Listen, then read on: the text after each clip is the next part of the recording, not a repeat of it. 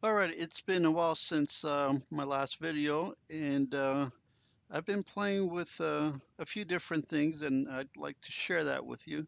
So first, um, let's take a look at HiSoft Basic version 2. Uh, this is a nice little Amiga Basic uh, compatible compiler. Uh, I wouldn't say it's fully compatible, but it's uh, pretty close. Um, but I did find a few or a couple of things wrong with it. Um, so let me just show you that. Uh, so this is a bit of code I've been playing around in Amiga Basic, and I'm going to show you how it looks in HiSoft Basic right now. So let's just compile it and run it. And uh, we see that it draws three shapes basically.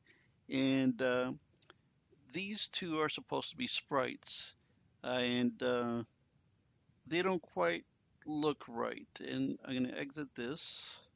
Let me just and let's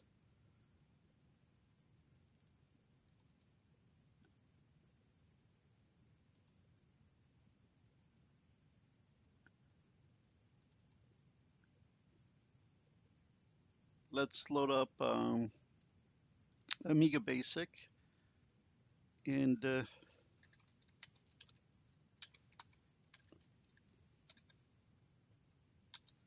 same program. And let's run it in here.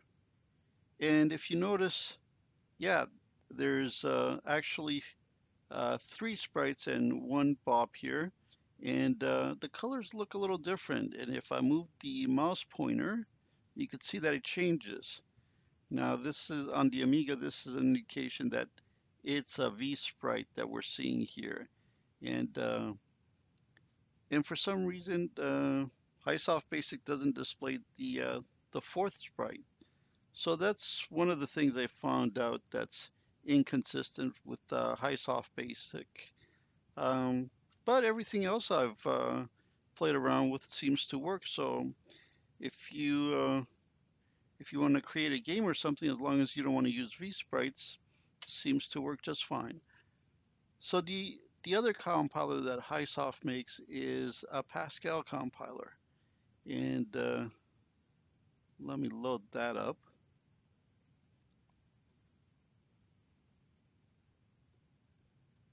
Yeah, let me just close some windows. It's getting a little messy here.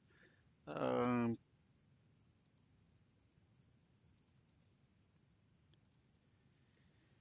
And I'm going to load up some code. Uh,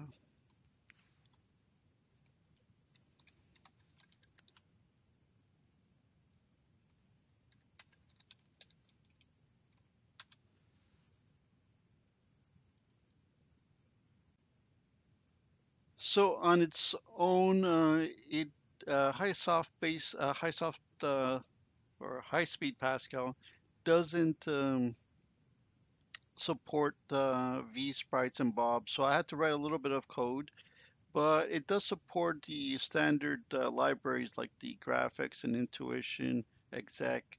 Uh, all that seems to function correctly, and if I run my little demo here, you can see that again very similar to the basic one, but uh, this is a V sprite, this is a V sprite, this is a Bob, uh, have it timed. So let's, uh, and uh, all these seem to work just fine. You can see the color changes in the mouse pointer.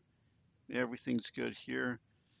Um, and uh, I was kind of surprised that uh, this being released at in 94 was actually that good. I, I think this was around the time I was off the Amiga and onto the PC world. Uh, but uh, it it seems to be uh, very compatible with Turbo Pascal.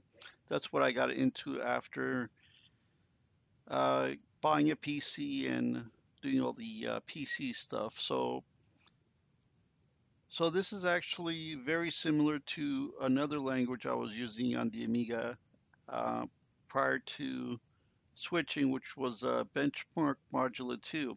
So all this looks very familiar, and uh, it's nice that uh, someone released a, a Pascal compiler that was actually pretty good at at the time. I don't know how popular this became, but um, uh, I didn't hear of it. I only discovered it on archive.org, downloaded it, installed it, and uh, I was kind of surprised how good it was. So I've been using this to play around in the Amiga emulator, but I've also been playing around with the, uh, let me see if I can load it properly. So I'm running uh, Ubuntu in, uh, in VirtualBox and I'm running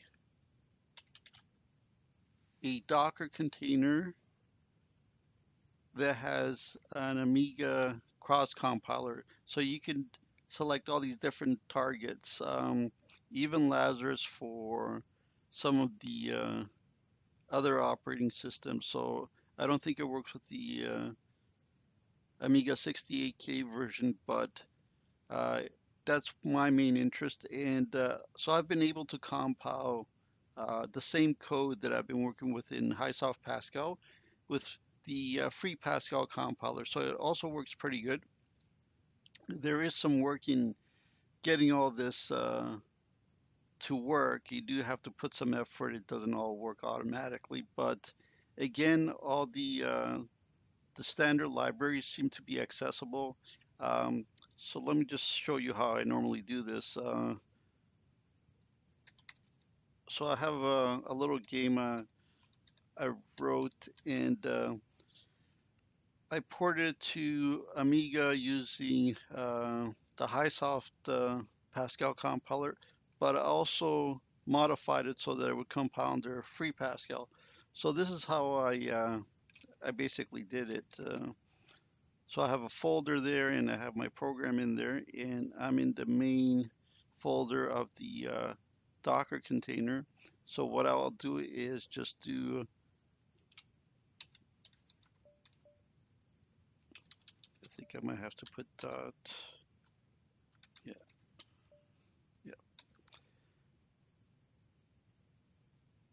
So if we do cross FPC Amiga and uh, specify specify our folder and our main uh, main program. So let's see what happens. And you can see it compiled it and we can see if we look in the folder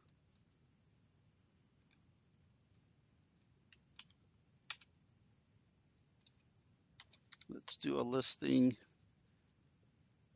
so here it is right here at the top so if we look at our time here, it's 1032. And so it compiled this. So the size of this is actually pretty good. It's not as small as the um, HiSoft Pascal compiler, which I think comes a little bit less, but um, Free Pascal actually supports a lot more language features. So if you're looking at uh, trying it, I think it's it's pretty stable at this point. Uh, I've been very happy with it. All the code that I've uh, tried to compile has worked. The things that haven't have been uh, basically my own fault. Um, but uh, if you've been thinking about trying something on the Amiga, at least with the um, 3.1 version, I'd say give uh, the free Pascal compiler a try. seems to work for me. There's not a lot of documentation or demo programs, but you can, I wouldn't say easily, but you can convert some of the C programs out there. I've been kind of going through a lot of PDF books with C source code and looking at whatever is available online. It's a little tough when nobody else has done it in Pascal yet, but it, if you kind of go slowly, you could get things working. So that's how I ended up uh, getting my uh, my bobs and sprites to work here. And uh, the same code also works with Free Pascal. So you could do things like this. And I think that's where I'll end this. Uh, if you have any questions about any of this, uh, leave a comment. Uh, yeah, I usually answer pretty quick.